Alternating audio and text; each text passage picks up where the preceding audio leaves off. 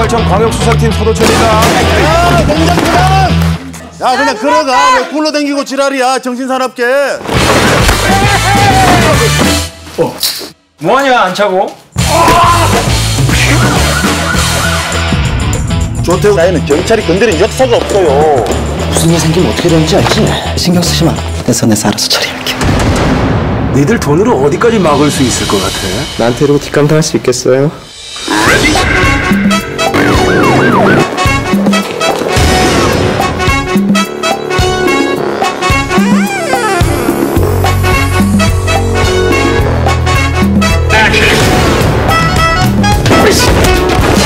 내가 죄 짓고 살지 말라 그랬지.